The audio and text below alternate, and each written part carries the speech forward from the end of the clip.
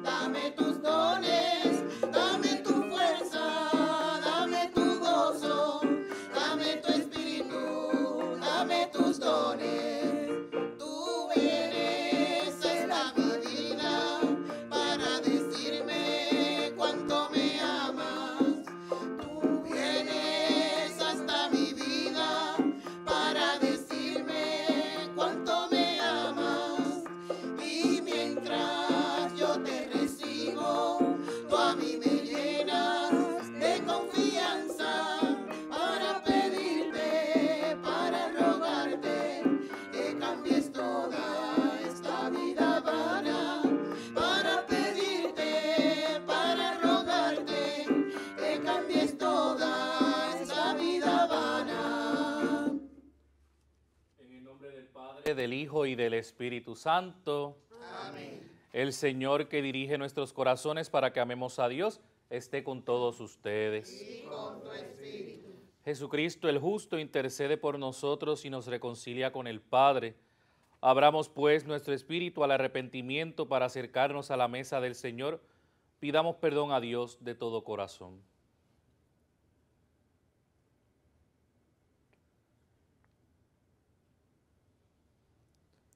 Yo confieso ante Dios Todopoderoso y ante ustedes, hermanos, que he pecado mucho de pensamiento, palabra, obra y omisión. Por mi culpa, por mi culpa, por mi gran culpa. Por eso ruego a Santa María, siempre Virgen, a los ángeles, a los santos y a ustedes, hermanos, que intercedan por mí ante Dios nuestro Señor. Dios Todopoderoso tenga misericordia de nosotros, perdone nuestros pecados y nos lleve a la vida eterna.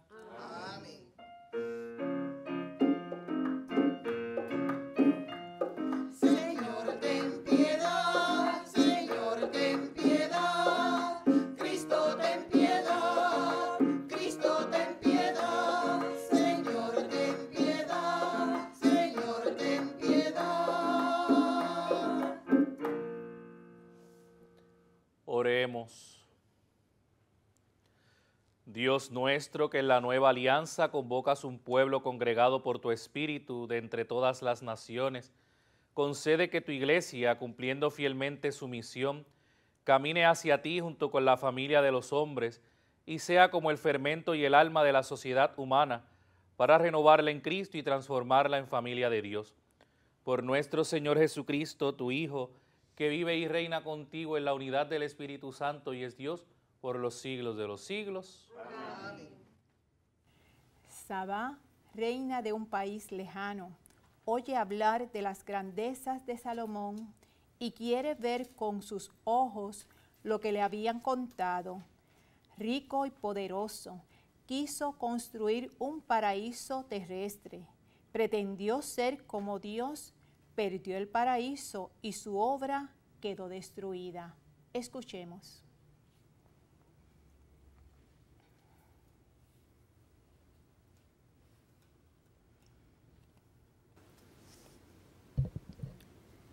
Lectura del primer libro de los reyes. En aquellos días, la reina de Sabá oyó la fama de Salomón y fue a desafiarle con enigmas. Llegó a Jerusalén con una gran caravana de camellos cargados de perfumes y oro en gran cantidad y piedras preciosas. Entró en el palacio de Salomón y lo, lo propuso todo lo que pensaba. Salomón resolvió todas sus consultas. No hubo una cuestión tan oscura que el rey no pudiera resolver. Cuando la reina de Sabá vio la sabiduría de Salomón, la casa que había construido, los manjares de su mesa, toda la corte sentada, la mesa, los camareros con sus uniformes sirviendo las bebidas, los holocaustos que ofrecía en el templo del Señor. Se quedó asombrada y dijo al rey, es verdad lo que me contaron en mi país de ti y tu sabiduría. Yo no quería creerlo, pero ahora que he venido y lo veo con mis propios ojos, resulta que no me había dicho ni la mitad. En sabiduría y riquezas superas todo lo que yo había oído. Dichosa tu gente, dichosos los cortesanos que están siempre en tu presencia, aprendiendo de tu sabiduría. Bendito sea el Señor, tu Dios, que por el amor eterno que tiene a Israel, te ha elegido para colocarte en el trono de Israel y te ha nombrado rey para que gobiernes con justicia. La reina regaló al rey cuatro mil kilos de oro, gran cantidad de perfumes y piedras preciosas. Nunca llegaron tantos perfumes como los que reina de Sabá regaló al rey Salomón. Palabra de Dios.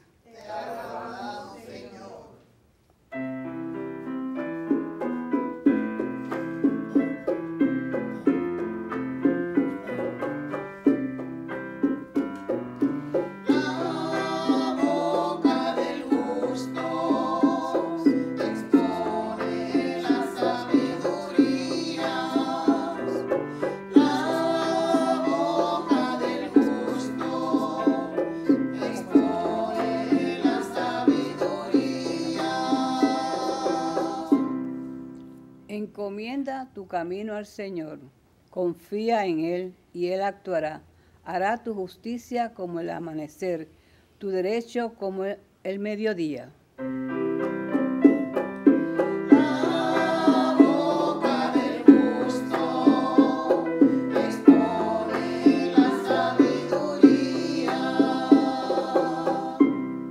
La boca del justo expone la sabiduría su lengua explica el derecho, porque lleva en el corazón la ley de su Dios y sus pasos no vacilan.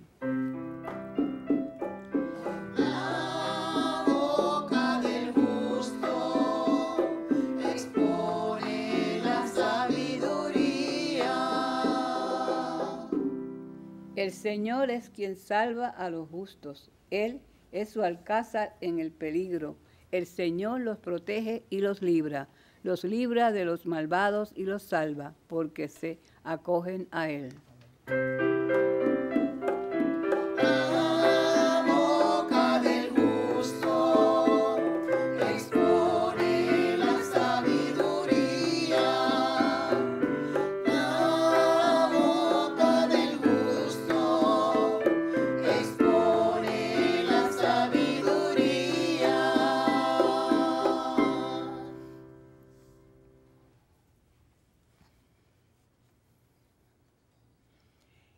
La discusión con sus enemigos.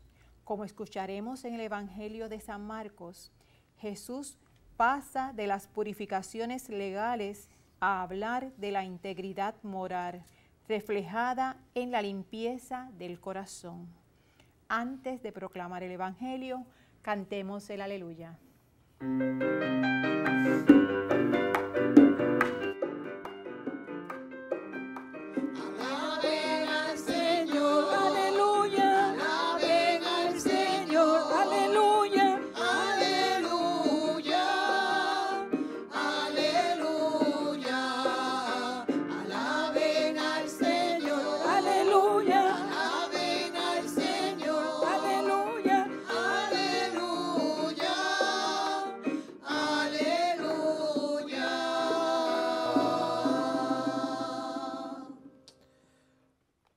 Palabra, Señor, es verdad.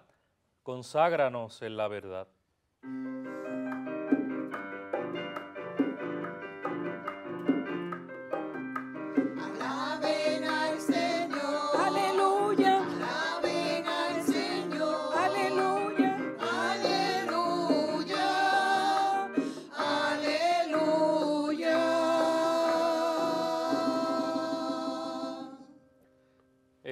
Señor esté con ustedes.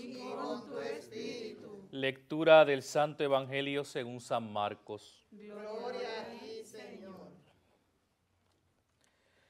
En aquel tiempo llamó Jesús de nuevo a la gente y les dijo, escuchen y entiendan todos, nada que entre de fuera puede hacer al hombre impuro, lo que sale de dentro es lo que hace impuro al hombre.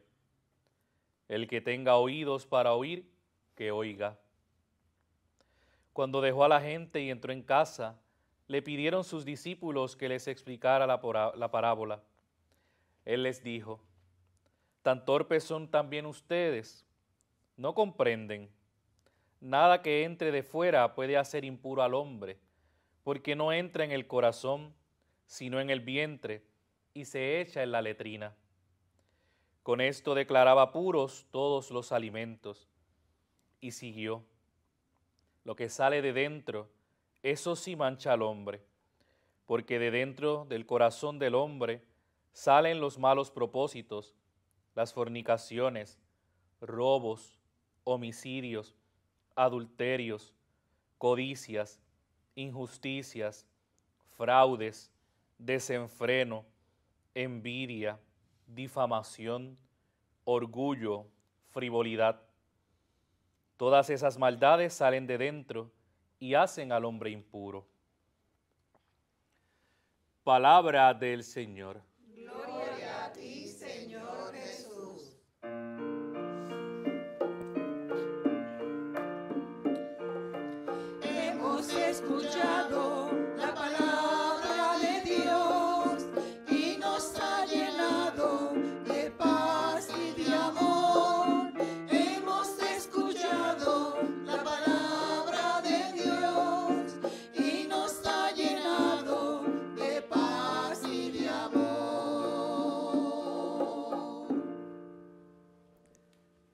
Queridos hermanos y hermanas, escuchamos o seguimos escuchando en la primera lectura sobre el libro de los reyes eh, y escuchamos sobre Salomón, ahí está reina de Saba que viene a, envolverlo, a engañarlo.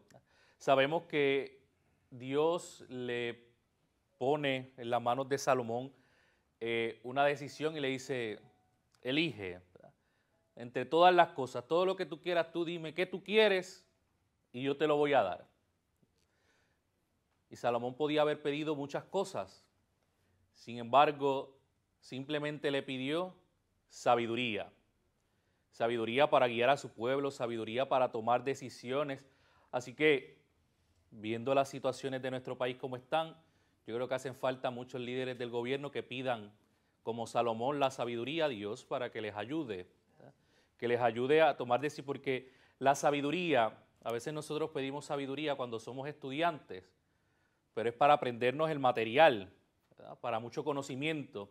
Sin embargo, la sabiduría que pide Salomón y la sabiduría que Dios nos va a dar a nosotros en nuestra vida y la sabiduría que nosotros debemos pedir no es la del conocimiento, o conocimiento en exceso, ¿verdad? Porque vamos a tener cierto conocimiento, sino es la capacidad y la sabiduría de saber tomar decisiones, que uno pueda eh, saber tomar decisiones.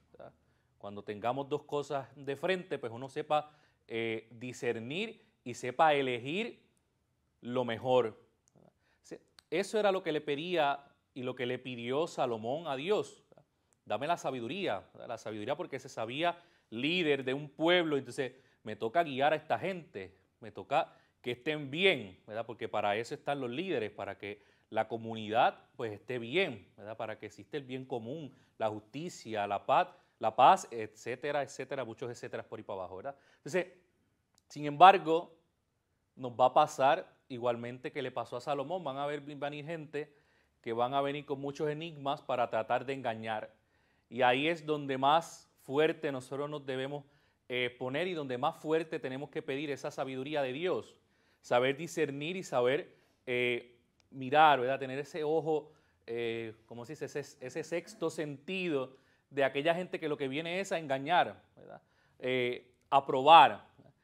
Nosotros no tenemos todo el conocimiento. A veces eh, piensan que porque uno estudia ciertas cosas, uno lo sabe todo. Y no es así. Es como cuando ustedes se acercan a nosotros como sacerdotes, pues uno sabrá muchas cosas, pero uno no lo sabe todo. Entonces no se puede molestar cuando se acercan a un sacerdote, le hagan una pregunta y uno no pueda contestarla. Porque, mira, déjame buscar y ver y, eh, consultar a otra persona y investigar, a ver, para poder contestar bien. Habrá otras cosas que se podrán contestar más rápido, que aprenderemos en el camino. ¿verdad? Como cuando ustedes nos escuchan predicar aquí al frente y no es que uno lo sepa todo. Para predicar hay que prepararse, hay que leer y hay que más que leer, hay que orar con la palabra de Dios eh, y saber qué Dios le quiere decir en este momento actual al pueblo. Y eso es difícil, porque la comunidad, pues, no es muy homogénea que digamos, ¿verdad? Hay muchas eh, personas, entonces uno tiene que eh, ir viendo dentro de todo lo que Dios quiere hablarle a su pueblo, de qué manera uno lo dice para no herir a X y tenemos a Y bien, y si no, Y se, se ofende y X está bien, entonces pues ni uno ni el otro. Siempre saldrá alguien ofen- ofendido, pero pues eso pues viene con el paquete, ¿verdad? Porque a muchos les molesta que les digan la verdad. Entonces, eh, pues uno se prepara, ¿verdad? no es que uno lo sabe todo, uno se prepara, uno escucha distintas reflexiones, algunas homilías anteriores, hay libros que te acompañan, tú oras con el Señor, tú le pides la gracia el Espíritu Santo, entonces pues te paras allí eh, a ver lo que el Señor ha inspirado, que tú has entendido, que tú puedas acompañar a la comunidad. Cuando te toca celebrar tres, cuatro misas, si les toca conmigo cuatro misas corridas, no van a escuchar las mismas cosas. Hay dos o tres cosas que dirán. ¿Por qué? Porque también la comunidad es distinta. No es lo mismo predicarle a niños que predicarle a jóvenes, que predicarle a personas preparadas o a personas con menos preparación académica o yo no sé qué, o yo ¿verdad? No es lo mismo predicar en el campo que predicar en la ciudad. Entonces, pues todo eso cambia. No es lo mismo predicarle a religiosos, a religiosas, que predicarle a laicos. Entonces, pues todo eso va cambiando. Y aunque uno utiliza, eh, vamos a decir, un, eh, la base es la misma, ¿verdad? que siempre va a ser eh, la palabra de Dios, pues hay cosas distintas, ¿verdad? Uno va eh, dándole distintos tonos para que a cada uno, eh, cada uno pueda hacer y pueda tomar aquello que le viene bien a su vida y que es lo que Dios le dice a uno. Entonces, hay que pedirle esta sabiduría a Dios, esta sabiduría que Salomón le ha pedido y que hoy tratará a la reina de Saba de engañarle. También estar pendiente a todas estas personas que conocen un poco de que a uno, eh, de que uno tiene cierta sabiduría y que uno aprende a tomar decisiones, pero que también quieren eh, atraparlo y engañarlo para que fallen. Entonces, uno tiene que estar pendiente a esas cosas. A, Salomón le pasó, a Jesús también le pasó. ¿verdad? ¿Qué querían los fariseos y los saduceos y toda esta gente? ¿verdad? Ah, Vamos a buscar la manera, que muchas veces dice el Evangelio, estaban buscando la manera de cómo hacerlo fallar para atraparlo y para acusarlo y entonces tener razones para matarlo. Estuvieron, estuvieron ahí buscando, buscando, buscando y al final tuvieron que, eh, dentro de todo, mentir para poder eh, engañarlo y poder agarrarlo y poder eh, matarlo. Entonces, todo esto es lo que hoy Jesús también nos presenta en esta pequeña parábola. No hay nada impuro que entre de fuera, sino que lo que hace, lo que hace impuro al hombre es lo que sale de dentro. Sabemos que los judíos pues tenían muchos problemas con algunos alimentos, que eso eh, los hacía impuros, entonces si comes de ese alimento pues te hace impuro. Entonces Jesús ya le está diciendo, no, no hay nada de eso que le haga impuro, además eso lo creó Dios. Entonces, eh, no hay nada de esas cosas que le hagan impuro. Es un poquito eh, bien claro el evangelista cuando dice, lo que entra de fuera no va al corazón, va al vientre y de ahí va por la letrina. Usted tradúzcalo en buen puertorriqueño porque yo no lo voy a hacer porque estoy en televisión. ¿Verdad? O sea, si entra al vientre y después va a la letrina, usted sabe lo que es una letrina. Bueno, los más jóvenes yo no sé, yo sé lo que es una letrina y no es que yo sea muy viejo, pero uno ha estudiado y uno ve los libros de historia y todas esas cosas. Además de que de niño vi una letrina, así que sé lo que es una letrina. A lo mejor muchos después de mí no saben, pero si no, búsquenlo. Sepan que es una letrina o pregúntenle a sus abuelos o a los adultos y busquen qué Entonces, ahí Jesucristo está, eh, como dice el evangelista, eh, quitándole ese sello de, eh, de impuro a algunos alimentos que la comunidad judía entendía como impuros. le dice, eso no es lo que le hace daño, eso no es lo que, lo hace, lo los hace impuros lo que les hace impuro es lo que sale de adentro. Ahí es donde nosotros tenemos que cuestionarnos y hoy preguntarle al Señor, Señor, ¿cómo nosotros podemos ir purificando aquello que está impuro dentro de nosotros y que hace que esa impureza salga?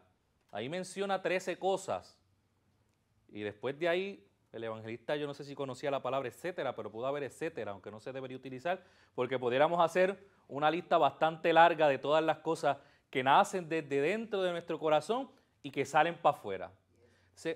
En nosotros también hoy, pidiendo esta sabiduría de Salomón, preguntarle al Señor y pedir esa sabiduría para ver de qué manera nosotros, Señor, podemos purificarnos, purificar todo eso que hay adentro, para que lo que salga de nosotros no sea impuro, para que no me haga impuro a mí, ni también haga impuro al otro.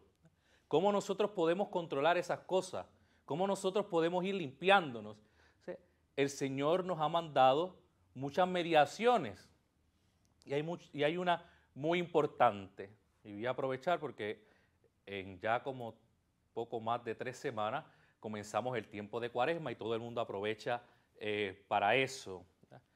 Y una de las mediaciones que el Señor nos ha puesto para que nosotros vayamos purificando nuestro interior y que eso sea lo que salga de dentro de nuestro corazón, es el sacramento de la reconciliación.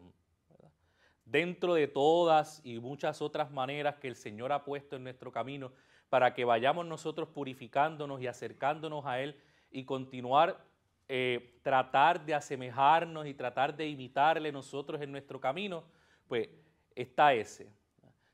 Nosotros vamos ante el Señor, le presentamos todas esas impurezas que quedan dentro, todas esas cosas que no nos ayudan eh, a avanzar en el camino de la fe, todas esas cosas que nos detienen, se las vamos presentando y el Señor a través del sacramento, a través de su perdón y de su misericordia, va renovándonos por dentro y va, haciendo, va haciéndonos cada día más puros. Entonces, nosotros purificando todo nuestro interior, pues también eso es lo que nosotros vamos a dar. Se dice por ahí que nadie da lo que no tiene. Entonces, si nosotros podemos ir purificando nuestro interior, pues podemos ir ayudando a que el exterior eh, sea más bonito. Pero si no tenemos dentro de nosotros esa purificación, pues no vamos a poder eh, dar otra cosa más que toda esa porquería que tenemos por dentro. Nosotros usamos mucho los filtros para el agua para que le aguante los minerales y la tierra y esto y yo no sé qué, eh, porque sale turbia. pues igualmente, el sacramento de la reconciliación es un filtro que nos va ayudando a que se vaya purificando todo lo que sale de nosotros. Entonces, hay que acudir a todas estas mediaciones que el Señor nos da para que podamos recuperar nuestra paz, para que podamos recuperar toda aquella pureza de corazón que es con la que el Señor nos ha creado, para recuperar esa, esa inocencia, esa pureza, esa verdad, esa paz, como se dice en, el, en la absolución, en el sacramento, que el Señor el perdón y la paz. Y entonces yo te absuelvo de todos tus pecados, pero dice antes, el nombre de iglesia, el perdón, o sea, recibes el perdón y la paz también. Entonces, para nosotros poder vivir en paz, para nosotros poder eh, caminar en la pureza del Señor, para que nosotros no salga todo lo que, todo lo malo que tenemos por dentro, pues hay que ir purificándonos poco a poco, ir poniendo, eh, ahora que hay muchos filtros, especialmente en las redes sociales y todo el mundo se pone filtros para que nadie sepa bien quién es uno, pues uno tiene que ponerse filtros también dentro de nosotros para que todo eso vaya purificando nuestro interior y que eso sea lo que salga, para que nosotros podamos imitar al Señor, para que nosotros podamos eh, tener palabras de paz, palabras de amor, palabras de reconciliación, eh, y que nos hace falta. Vivimos en un mundo y en un país muy fragmentado. Cualquier cosita es una pelea. Cualquier cosita hay que cortarle la cabeza al otro. Y yo sé que hay cosas más difíciles y otras más fáciles, eh, pero hay cosas muy difíciles pasando. nosotros tenemos que ir eh, purificándonos, ¿verdad? nosotros tenemos que ir sensibilizándonos. ¿verdad? Lo veíamos el domingo, ¿verdad? estamos todos en esa barca, en esa barca toda una noche sin poder pescar nada. Estamos como, como a la deriva, ¿verdad? No sabemos, no hay dirección, no hay nada, pero Jesús nos invita nuevamente a echar las redes, a que por su palabra nosotros podamos echar las redes. Eso nos renueva, nos ha renovado. ¿Para qué? Para que no andemos como barco, en un barco a la deriva, para que no andemos desorientados. Sabemos que si andamos con Jesucristo, nuestra pesca va a ser grande y nuestra pesca va a ser mejor. Nos invitaba este fin de semana el Señor a ser pescadores de hombres junto con Pedro y sus discípulos. Nos invita a rescatar, a rescatar a tantos hombres y mujeres que necesitan que necesitan que lo que tienen adentro sea renovado, sea purificado. Pero si yo, que estoy llamado a eso, no me purifico, me quedo con todas impurezas, con toda esa impureza y con toda esa porquería adentro, ¿qué es lo que le voy a transmitir? Toda esa porquería. Así que nosotros necesitamos purificarnos dentro para que eso sea lo que salga de dentro y sea que lo que los demás reciban que los demás reciban toda esa pureza, todo ese amor, toda esa misericordia, todo ese perdón, que sientan ese amor que Dios nos tiene a cada uno eh, y que nosotros, teniéndolo por dentro, habiéndonos limpiado nuestro corazón, habiendo limpiado nuestra alma, pues es lo que podemos darle a los demás. Así que yo creo que debemos pedir eh, esas dos cosas en esta, en esta semana y a través de esta Eucaristía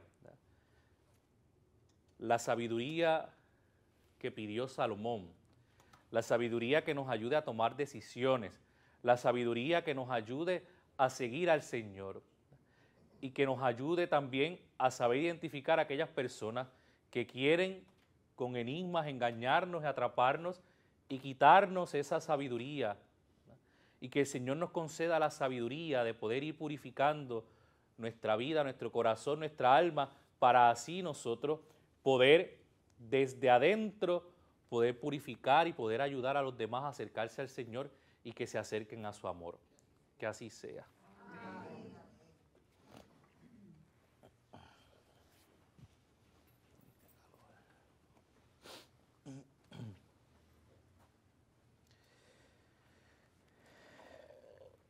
Nos hemos reunido aquí, hermanos y hermanas, para conmemorar el misterio de nuestra redención.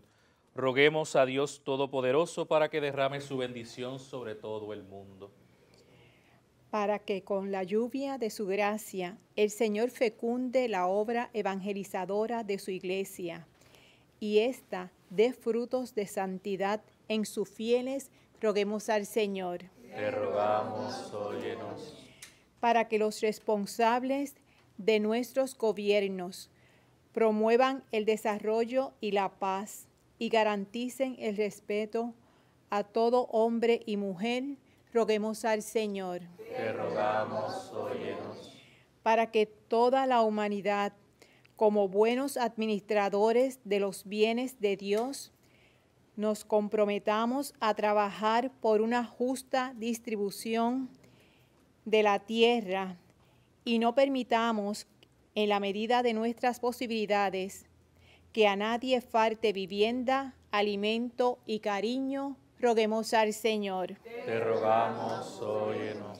Para que los campos den buenas cosechas, la evangelización sea eficaz y todos los hombres y mujeres podamos saciarnos con los bienes temporales y eternos que Dios nos da, roguemos al Señor. Te rogamos, óyenos. Para que la comunión con el cuerpo y la sangre de Cristo acreciente nuestra fe y purifique nuestro amor, roguemos al Señor. Te rogamos, óyenos. Por la salud de sacerdotes, diáconos, religiosos, religiosas y por Adriana Negrón, Carmen Alvarado, Elsa Berríos Suárez, Teresita Carmona, Ramón Navarro, Edelinda Torren, Coral Egúrbida, familia Mardonado Torres, Maribel García García, Mario Toledo, Carmen Molina, Milagros Santos Rodríguez y por el bebé Alexis J. Santos Marrero, roguemos al Señor. Te rogamos. Por el eterno descanso de sacerdotes, diáconos, religiosos, religiosas y por Angelina y María Luisa Serrano, José Nieves Lacomba, Enrique Ortiz Rivera, Pedro Fontán, Rosa Pagán, Carmen y Mariano Santiago, Félix Pereira Ramos, Luis Lamba, Lomba, perdón, Janet Davis, Alonso Calderón, Norma y Joel González, José Aníbal Portalatín, difuntos de la familia Franco Molina, Xiomari Hernández, Carlos Rivera Rodríguez, difuntos de la familia Hernández Urrutia, Eugenia Molina, Edgardo Blanco, Armando Rosado, Axel y Ricardo Burgos, Marcos Lugo, difuntos de la familia Molina Ortiz, Delia Lozada, Marta Morales, Luis Cabrera Miranda. Roguemos al Señor. En acción de gracias por favores recibidos de la Virgen del Perpetuo Socorro, por el cumpleaños de nuestra compañera del coro, Irma Soto, y una extensión especial de Roberto Roche Santiago, por nuestros amigos y amigas de Teleoro, cuyas intenciones y peticiones han sido colocadas junto al sagrario, roguemos al Señor. Te rogamos, óyenos. Oramos por todos los damnificados por las lluvias de este fin de semana, para que sean confortados por nuestra fraternal caridad y puedan recibir pronto la ayuda que necesitan. Roguemos al Señor. Padre, sé generoso con tu pueblo que te suplica y haz que reciba oportunamente lo que te pide por tu inspiración. Por Jesucristo nuestro Señor.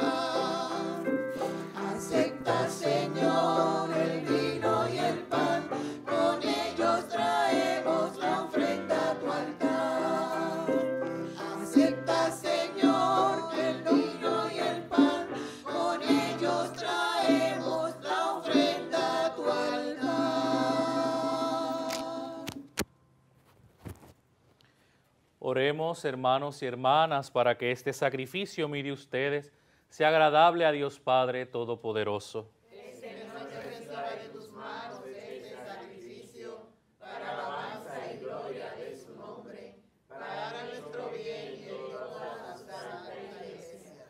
Acepta las ofrendas que te presentamos, Señor, y haz que tu iglesia, nacida del costado de Cristo en la cruz, encuentre siempre en este sagrado misterio la santidad que la hace vivir y sea digna de su fundador, nuestro Señor Jesucristo, que vive y reina por los siglos de los siglos. Amén. El Señor esté con ustedes. Y con tu espíritu. Levantemos el corazón. Lo tenemos levantado hacia el Señor. Demos gracias al Señor nuestro Dios. Es justo y necesario. En verdad es justo y necesario darte gracias y cantarte un himno de gloria y de alabanza, Señor Padre de infinita bondad, porque has reunido por medio del Evangelio de tu Hijo a hombres de todo pueblo, lengua y nación en una única iglesia, y por ella, vivificada por la fuerza de tu Espíritu, no dejas de congregar a todos los hombres en la unidad.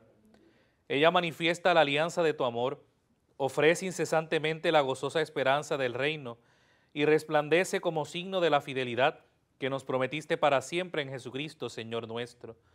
Por eso con los ángeles del cielo y con toda la iglesia te aclamamos en la tierra, diciendo a una sola voz.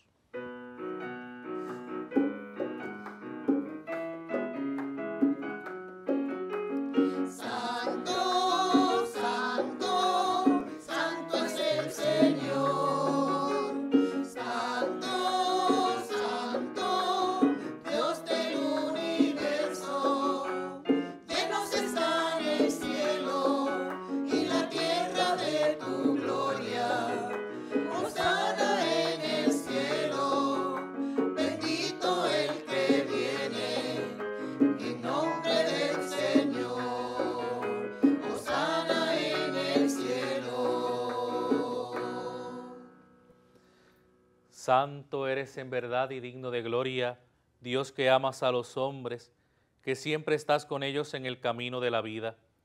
Bendito es en verdad tu Hijo que está presente en medio de nosotros cuando somos congregados por, tu, por su amor. Y como hizo en otro tiempo con sus discípulos, nos explica las escrituras y parte para nosotros el pan. Por eso te rogamos, Padre misericordioso, que envíes tu Espíritu Santo para que santifique estos dones de pan y vino, de manera que se conviertan para nosotros en el cuerpo y la sangre de Jesucristo nuestro Señor.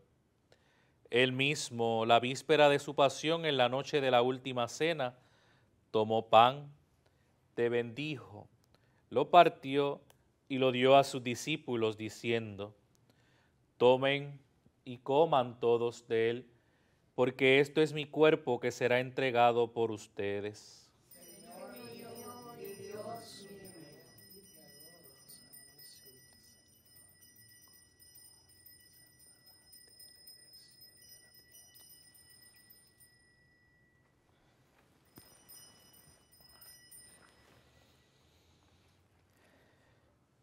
Del mismo modo, acabada la cena, tomó el cáliz, te dio gracias y lo pasó a sus discípulos diciendo, tomen y beban todos de él, porque este es el cáliz de mi sangre, sangre de la alianza nueva y eterna, que será derramada por ustedes y por muchos para el perdón de los pecados.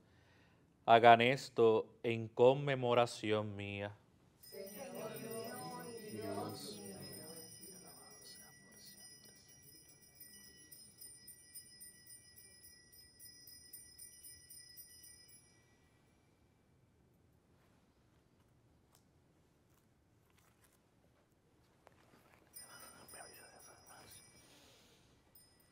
Este es el sacramento de nuestra fe. Anunciamos tu muerte, proclamamos tu resurrección. Ven, Señor Jesús. Por eso, Padre Santo, al celebrar el memorial de Cristo, tu Hijo nuestro Salvador, a quien por su pasión y muerte en cruz llevaste a la gloria de la resurrección y lo sentaste a tu derecha, anunciamos la obra de tu amor hasta que Él venga, y te ofrecemos el pan de vida y el cáliz de bendición.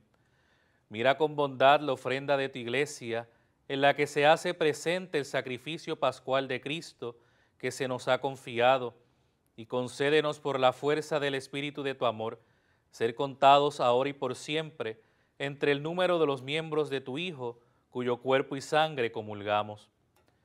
Renueva, Señor, a tu iglesia con la luz del Evangelio, consolida el vínculo de unidad entre los fieles y los pastores de tu pueblo, con nuestro Papa Francisco, nuestro obispo Roberto, su auxiliar Alberto, y todo el orden episcopal para que tu pueblo brille en este mundo dividido por las discordias como signo profético de unidad y de paz. Acuérdate de nuestros hermanos y hermanas que se durmieron en la paz de Cristo, por los que ofrecemos esta Eucaristía, y de todos los difuntos cuya fe solo tú conociste. Admítelos a contemplar la luz de tu rostro y dales la plenitud de la vida en la resurrección. Y terminada nuestra peregrinación por este mundo, concédenos también llegar a la morada eterna, donde viviremos siempre contigo. Y allí con Santa María, la Virgen Madre de Dios, con los apóstoles y los mártires, San Juan Bautista, el Beato Carlos Manuel, y en comunión con todos los santos te alabaremos y te glorificaremos por Jesucristo, Señor nuestro. Por Cristo, con Él y en Él, a ti Dios Padre Omnipotente, en la unidad del Espíritu Santo, todo honor y toda gloria por los siglos de los siglos.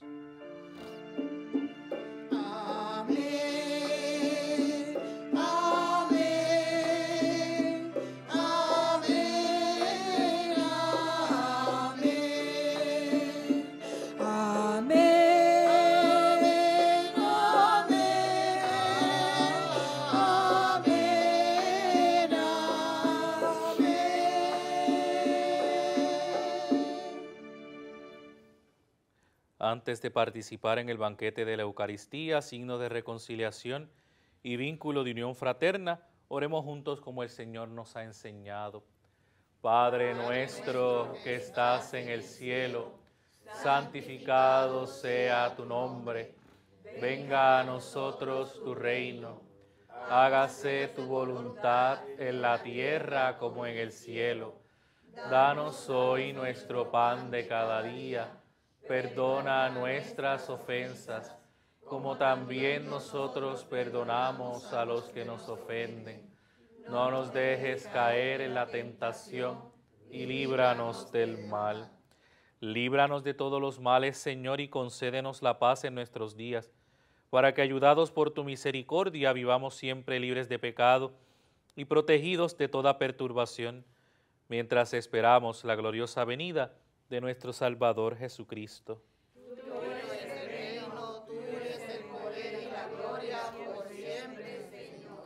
Señor Jesucristo, que dijiste a tus apóstoles, la paz les dejo, mi paz les doy. No tengas en cuenta nuestros pecados, sino la fe de tu iglesia, y conforme a tu palabra concédele la paz y la unidad. Tú que vives y reinas por los siglos de los siglos. La paz del Señor esté siempre con ustedes. Y con tu espíritu. Compartimos como hermanos un signo de paz.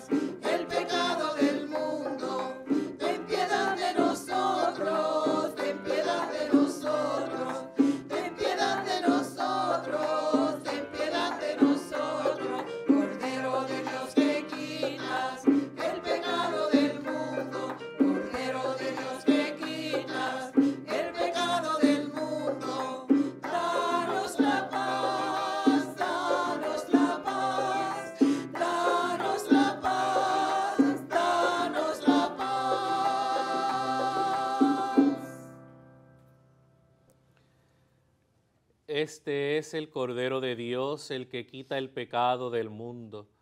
Dichosos los invitados a la cena del Señor. Señor, no soy digno de que entres en mi casa, pero una palabra tuya bastará para sanarme. Cuerpo y la sangre de Cristo conserva nuestras almas para la vida eterna.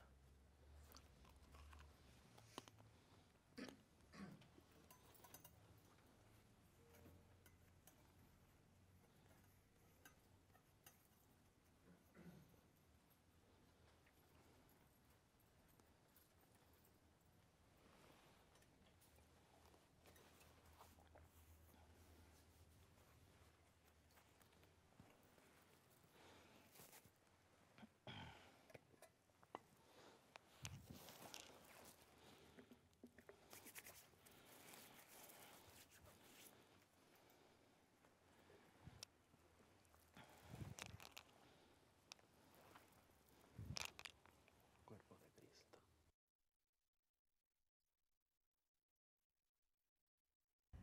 Invitamos a nuestros hermanos y hermanas televidentes a hacer la siguiente comunión espiritual. Creo, Jesús mío, que real y verdaderamente estás presente en este augusto sacramento.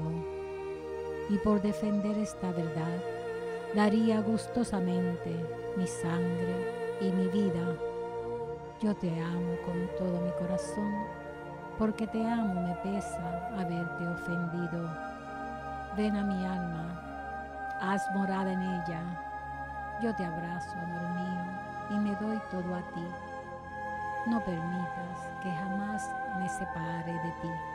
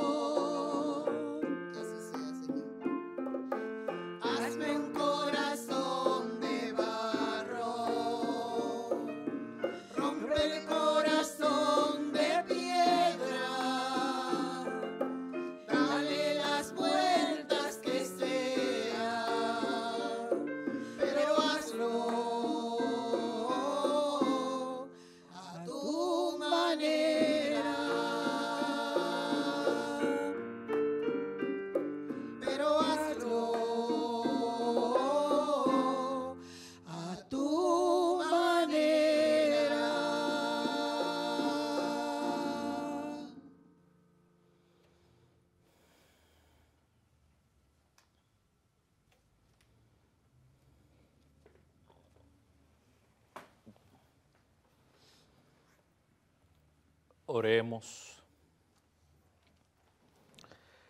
Renovados por el sacramento de tu Hijo, te pedimos, Padre, que fecundes a tu iglesia, en la cual revelas la pleni- la plenitud del misterio de la salvación a los pobres, para quienes reservas un lugar privilegiado en tu reino.